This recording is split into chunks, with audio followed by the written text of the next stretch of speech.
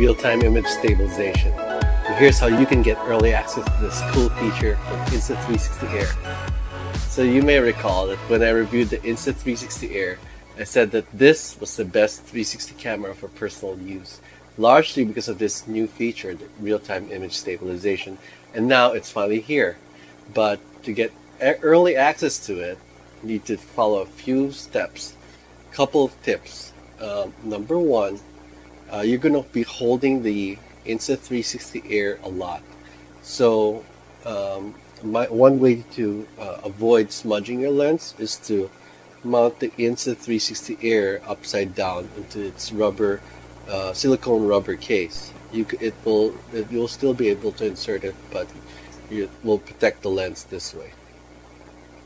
Another tip is that if you're using a smartphone case and you're using a USB adapter to insert the Insta360 Air uh, without removing your smartphone case, insert the Insta360 Air directly into your smartphone. There's fewer chances for errors. All right. Number one, you need an updated app, version 1.4. As of as of April 27, it's not yet on the Google Play Store, although it will eventually be there. But you can still get the beta version on insta360.com. Just click on download, then Insta360 Air, and then look for the version 1.4 of the app.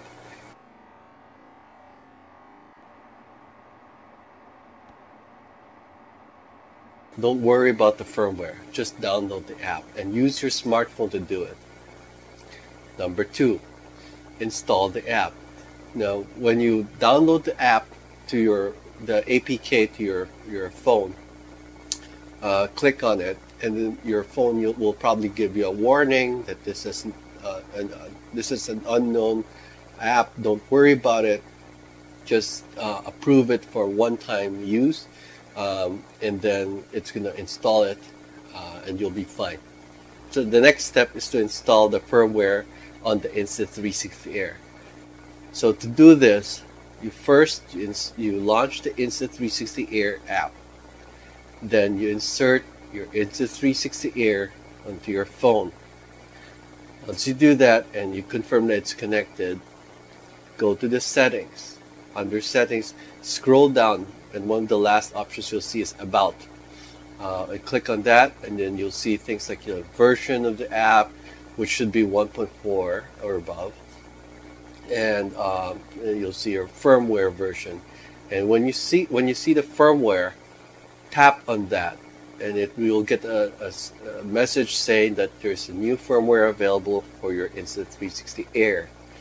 So the uh, it will tell you to that the, you need to reinsert the Insta360 Air.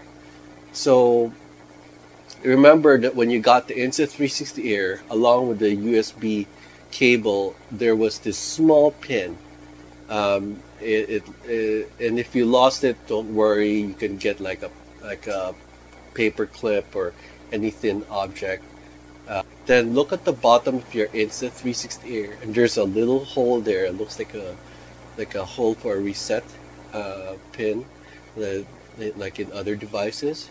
So that's where you're going to insert this this uh, pin. You get your pin, insert it, and keep it pushed in into your Insta360 Air. And while you're pushing it in, you insert the Insta360 Air, Air back into your phone. Now, when you do this, you're going to get a message saying uh, that you're ready to upgrade the firmware. So that's when you can remove the pin and click on upgrade. And you'll see a progress bar. It will uh, download the uh, the firmware into your Insta360 Air. So the next step is after you've downloaded the, the after the firmware has been downloaded to your Insta360 Air, the next step is to remove the Insta360 Air again. You'll be prompted to do this uh, you remove the Insta360 Air again and then reinsert it. So uh, this time, uh, within a few seconds, your Insta360 Air will install the firmware and um, your your app will show that you've got the new Insta 360 Air firmware. So once you've installed the firmware in the app, you're done. Your Insta 360 Air is ready to use with real-time image stabilization. So to use real-time image stabilization, go to the shooting screen and then uh, you'll see this little sci-fi looking symbol that looks like a, like a, a nuclear symbol. Um, and then click on that and you and what as long as it's highlighted yellow the real-time stabilization will be active. So this mode works not just for video but also for photos and for live streaming so enjoy and I hope you found this video helpful. Please take a moment, hit the like button and please subscribe. Thanks very much.